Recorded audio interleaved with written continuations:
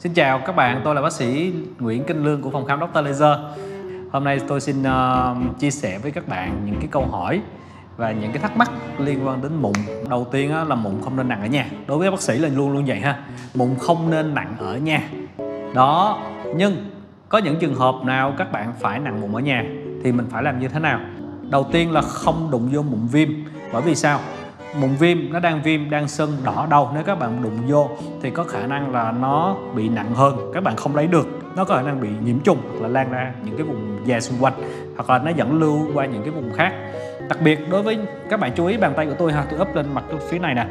Nếu mà các bạn nặng mụn cái mụn cái mụn mà nằm ở trong cái khu vực mà bàn tay của tôi ấp lên như thế này, nó có khả năng nhiễm trùng và nó gây dẫn lưu cái ờ, vi trùng đó vào trong cái hệ thống xoang mạch máu não và đi vào viêm não chẳng hạn thì rất là nguy hiểm. Nên đối với cái trường hợp nặng mụn ở nhà là không nên. Rồi nếu mà trường hợp mà mình điều trị nặng mụn thì đầu tiên là phải vô trùng, thứ hai là mình nhận biết những cái mụn này không phải là mụn viêm. Và để mà không phải mụn viêm thì nó phải già đủ và hoặc là nó đã khô rồi bằng cách là trước đó mình phải sử dụng thuốc để bôi để hoặc là thuốc uống hoặc là thuốc uh, bôi để cho nó mụn nó gom lại và nó khô đi thì lúc đó mình mới xử lý được. Cái thứ ba những cái dụng cụ nặng mụn thường là các bạn hay sử dụng những cái như là cái cây nặng mụn có một cái đầu tròn đây các bạn đi vô các bạn nhấn. Ok nếu mà những cái dụng cụ vô trùng thì các bạn có thể nặng được nhưng tốt nhất là nên nặng mụn bằng tăm bông bởi vì sao? Nó sẽ không gây bầm. Nó không gây bầm không gây bầm da không gây tụ máu cái nặng mụn bằng tăm bông nếu có dịp tôi sẽ chia sẻ bằng clip cho các bạn coi.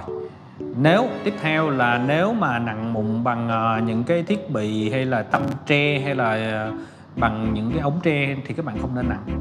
Đối với những cái trường hợp mà nặng mụn mà an toàn nhất các bạn nên đến những cái cơ sở mà phòng khám chuyên về da liễu hoặc những cơ sở mà có những bạn điều dưỡng kỹ thuật viên đã được huấn luyện trên đầy đủ để phân biệt được loại mụn nào không nên nặng và mụn nào nên nặng và xử lý đúng cái quy trình, đúng quy cách cho các bạn thì các bạn sẽ an toàn.